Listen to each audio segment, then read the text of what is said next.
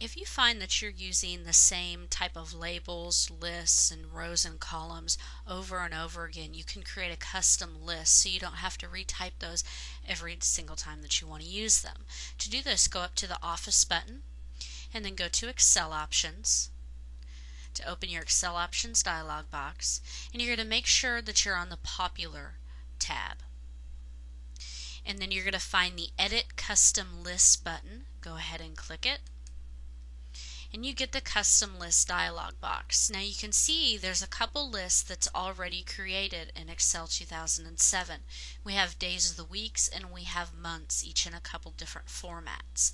So in order to create your own custom list, make sure that new list is selected and go over and click your add button and you're going to see a cursor in the list entries uh, text box. So go ahead and type the first item in your list with your keyboard. Press the enter key on your keyboard to go down to the next line. And go ahead and keep entering these until you've um, completed the list that you want to use.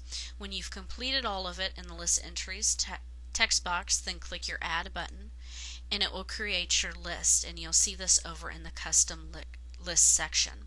There's also another way you can import lists from cells. Just make sure that you have the workbook open that contains the list that you want to import.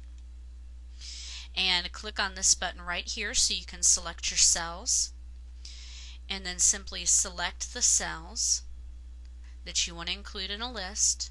Click this button again and then click on import and it's going to import this into a list.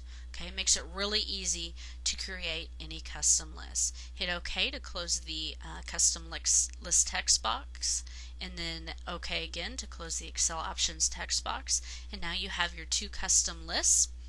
When you're ready to use them, just simply start typing an item in the list and then when you fill down, it's going to complete with your new custom list.